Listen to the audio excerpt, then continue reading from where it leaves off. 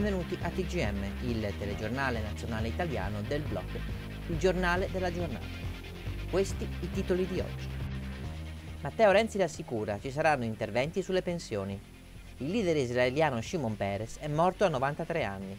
Presentata legge di bilancio francese, possibili sforamenti. Pagamenti sui conti correnti, alcune banche confermano. Antonio Di Pietro condannato a pagare per accaparramento fondi.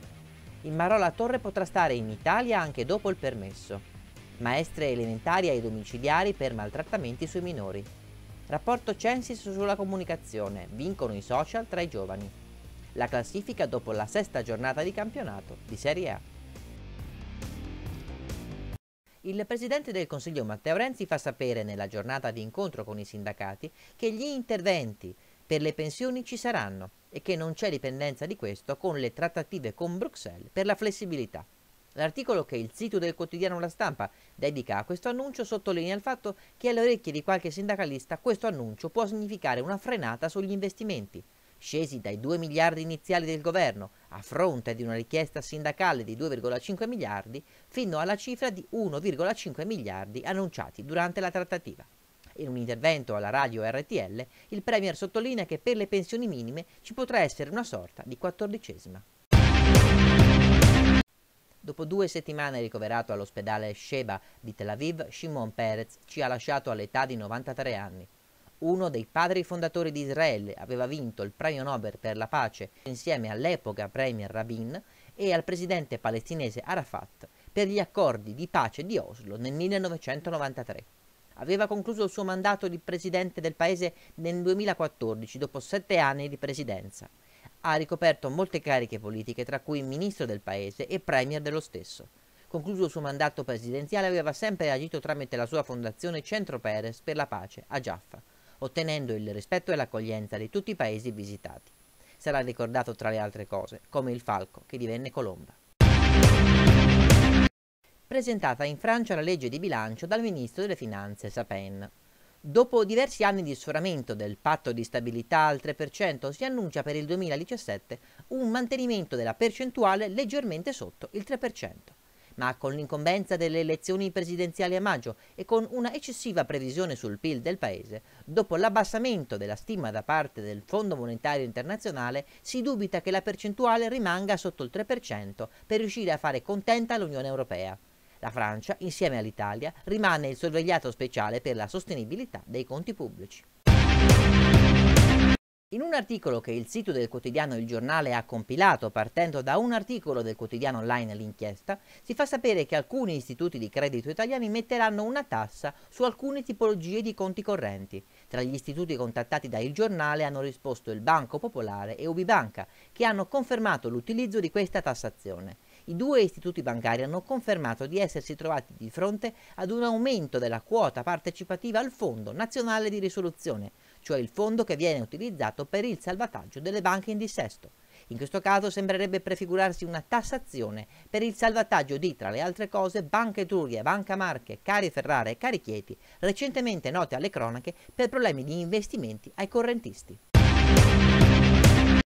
Un articolo del sito del quotidiano La Repubblica fa sapere che l'ex PM italiano e fondatore del partito Italia dei Valori Antonio Di Pietro è condannato dal Tribunale di Roma a risarcire il gruppo politico Il Cantiere di Achille Occhetto e Giulietto Chiesa per aver intascato al posto loro un finanziamento pubblico della Camera dei Deputati per un ammontare di 5 milioni. La cifra che Di Pietro dovrà rifondere al movimento di cui era alleato è circa la metà di quanto intascato. Di Pietro, interpellato dalla Repubblica, non ha preferito rilasciare dichiarazioni.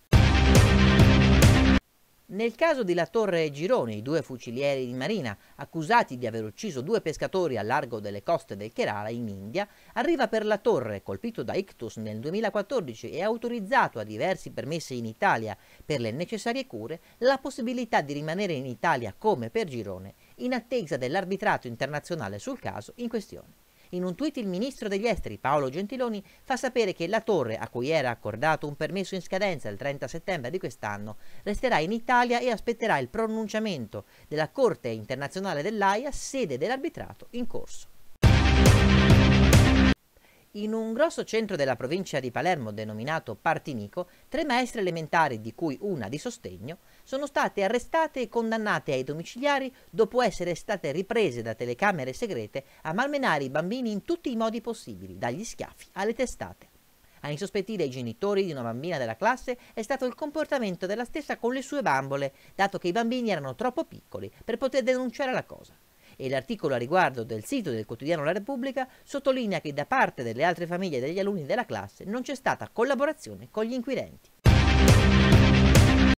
L'Istituto Censis ha emesso il tredicesimo rapporto sulla comunicazione. Tra le sue pagine di statistiche e di percentuali viene fuori che sempre più l'oggetto giornale cartaceo perde lettori, la televisione rimane stabile come oggetto di informazione per tutte le fasce d'età con leggere flessioni tra giovani ed anziani, mentre invece sempre più si fa largo la comunicazione attraverso i social network e i sistemi di trasmissione messaggi come WhatsApp da parte delle giovani generazioni, come riporta l'articolo a riguardo del sito del quotidiano La Repubblica, i social network si stanno configurando come il principale veicolo di informazione a discapito delle forme tradizionali come i telegiornali.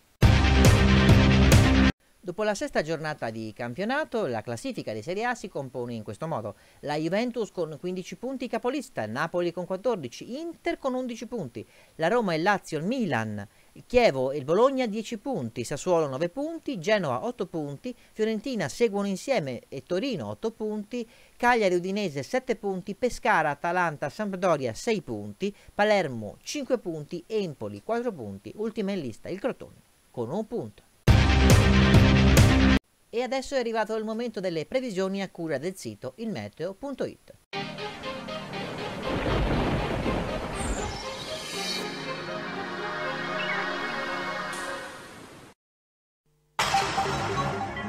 saluto ed un grandissimo abbraccio a tutti gli amici di ilmeteo.it. Previsioni per giovedì 29 settembre. L'alta pressione si rinforza ulteriormente, sole prevalente e ultimi disturbi sulla Sicilia ionica. Ecco il dettaglio preparato da ilmeteo.it. Al nord bella giornata di sole con cielo sereno o tutto al più poco parzialmente nuvoloso, specie sul Friuli Venezia Giulia. Spostiamoci al centro, sarà qui decisamente soleggiato con cielo terzo su tutte le regioni, anche il clima sarà molto gradevole. Raggiungiamo infine il sud, più nubi potranno interessare i settori ionici della Sicilia anche con occasionali piovaschi, altrove il sole sarà dominante. Come saranno invece i venti? Soffieranno debolmente e da direzioni variabili.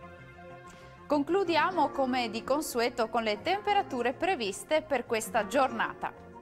Le minime risultano essere pressoché stazionarie con valori compresi tra 8 e 21 gradi su tutte le nostre regioni. Durante il giorno invece prevediamo 23-29 gradi al nord, tra 21 e 26 gradi al centro e fino a 27 gradi al sud. Il meteo.it vi invita a mettere mi piace sulla nostra pagina ufficiale di Facebook, così da essere sempre aggiornati sulle nostre news. Arrivederci!